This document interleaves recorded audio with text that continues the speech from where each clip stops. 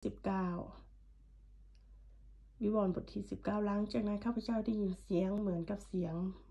ของมหาชนที่ดังสนั่นอยู่ในสวรรค์กล่าวว่าฮาเลลูยา ความรอดพระสิริและฤทธานุภาพเป็นของพระเจ้าของของเราเพราะการพิพากษาของพระองค์เที่ยงธรรมและยุติธรรม พระองค์ทรงพิพากษาหญิงแพทย์สยาตัวเอ ผู้ทำให้แผ่นดินโลกเสื่อมทรามด้วยการล่วงประเวณีของนาง และพระองค์ทรงแก้แค้นหญิงคนนั้นในเรื่องโลหิตของบรรดาผู้รับใช้ของพระองค์ คนเหล่านั้นร้องอีกเป็นครั้งที่สองว่าฮาเลลูยา ควันควันไฟของนครนั้นพุ่งขึ้นตลอดไปเป็นนิด และพวกผู้อาวุโส 24 คนกับสิ่งที่สิ่งมีชีวิตทั้งสี่สุดตัวลงนมัสการพระเจ้าประทับผู้ประทับบนพระที่นั่งและร้องว่าอาเมนฮาเลลูยา และมีเสียงออกมาจากพระที่นั่งว่า ผู้รับใช้ทุกคนของพระเจ้าและบรรดาคนที่เกรงกลัวพระองค์ ทั้งคนเล็กน้อยและคนใหญ่โตจงสรรเสริญ พระเจ้าของเราและข้าพเจ้าได้ยินเสียงเหมือนอย่างเสียงมหาชน เหมือนอย่างเสียงน้ำมากหลาย และเหมือนอย่างเสียงฟ้าร้องกึกก้องว่าฮาเลลูยา เพราะองค์พระผู้เป็นเจ้าทรงครอบครองอยู่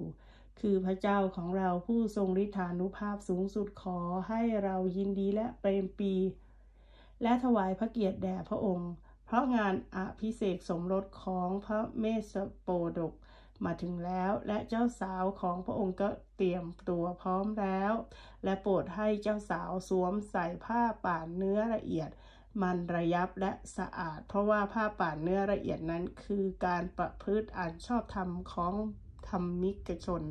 และทูตสวรรค์องค์นั้นบอกข้าพเจ้าว่าจงเขียนลงไปว่า ความสุขมีแก่คนทั้งหลายที่ได้รับเชิญมาในงานเลี้ยงอภิเษกสมรสของพระเมสโปดก และท่านบอกอีกว่าถ้อยคำเหล่านี้เป็นคำที่สัตย์จริงของพระเจ้า แล้วข้าพเจ้าก็สุดตัวลงแทบเท้าของท่านเพื่อจะนมัสการท่าน แต่ท่านกล่าวกับข้าพเจ้าว่าอย่าทำแบบนี้เราเป็นผู้ร่วมรับใช้เช่นเดียวกับท่านและพี่น้องของท่านที่ยึดถือคำพยานของพระเยซู จงนมัสการพระเจ้าเถิด เพราะว่าคำพยานของพระเยซูนั้นเป็นหัวใจของการเผยพระวจนะ